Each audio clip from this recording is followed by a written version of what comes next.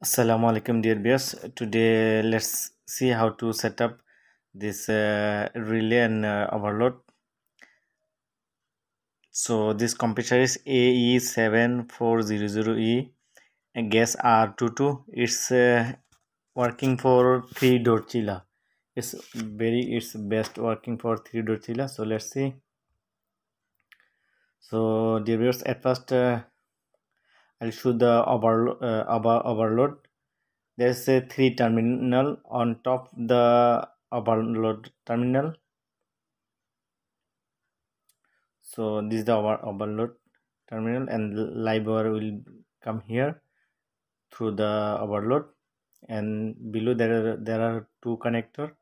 This two connector will go the relay. So let's see how to set up relay this the starting capacitor. Is starting capacitor is 40 microfarad 40 microfarad so i'll use this same things because i don't have the, their connector. So i'll use this 40 and this is the running capacitor. This running capacitor is 12 microfarad capacitor and this is the relay. Okay. This is the relay.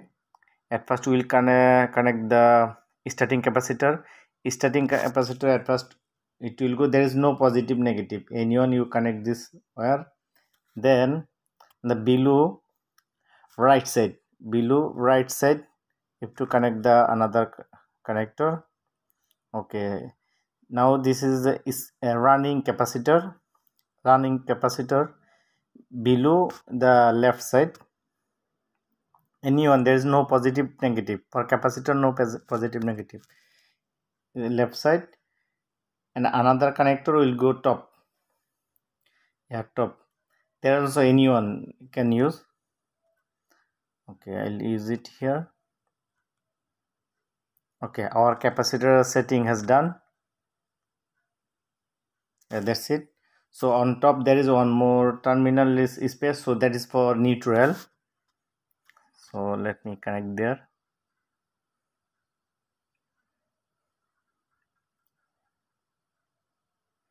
so it will go.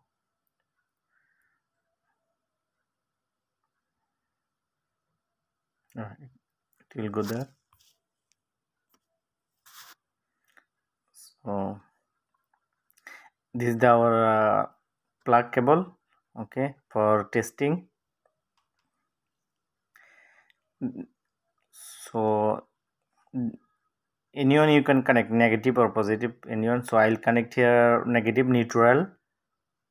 I'll connect here neutral. And positive i'll connect to the overload. This is overload connector.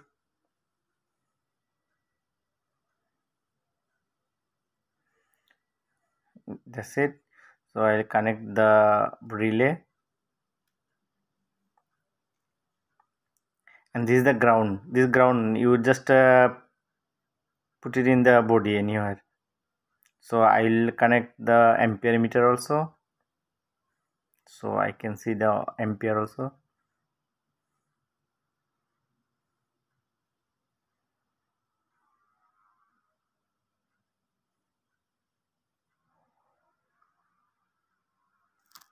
So alhamdulillah motor is started.